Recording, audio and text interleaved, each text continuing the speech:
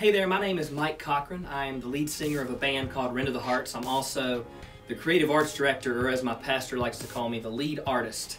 And I just want to share a little bit with you about how the coronavirus pandemic has shaped my life and my family's life. Just a little bit before uh, the beginning of 2020, my wife and I started talking about what it would look like for me to leave my full-time music teaching job and pursue music ministry with my band, ministry at my church, and then freelance session work and mixing work here in my home studio.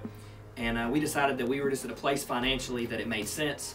And uh, so in March of 2020, the very beginning of March, I turned in my letter of resignation to the school system where I'd, where I'd been teaching. And then bam, the shutdown happened and all of the band's gigs dried up. And so uh, I listened to this financial guy and he talks about how when you're trying to move your side gig to your to be your full-time gig, you want the boat close enough to the dock that you can step off the dock and not get wet. And uh, my boat was definitely close enough, um, but the shutdown and the pandemic just pushed that boat out into the water just right as I was stepping off of it.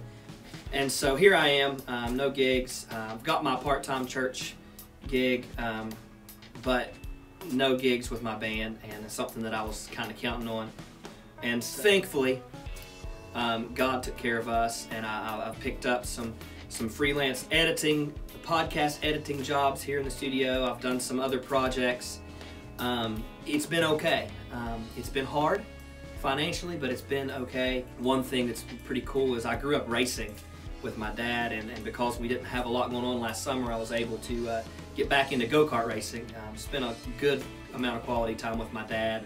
So I've got a four-year-old daughter and a two-year-old daughter, and then uh, at the beginning of this year, we uh, we got two foster children, a three-year-old boy and, a, and, now a six-month-old little girl. And uh, so we've got four children in our home, and that's something that just wouldn't have been possible.